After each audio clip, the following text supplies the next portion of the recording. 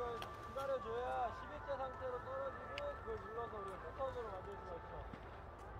한 번 더 해보자.